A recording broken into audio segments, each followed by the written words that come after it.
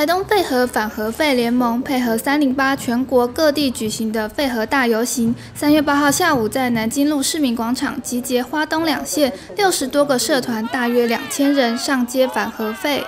我们这一次游行有三个诉求，第一个就是反对核废料进到达人乡的南田村，第二个是蓝屿的核废料必须要立即迁出，第三个是我们要求要终结核试，不希望制造更多的核废料来遗害子孙。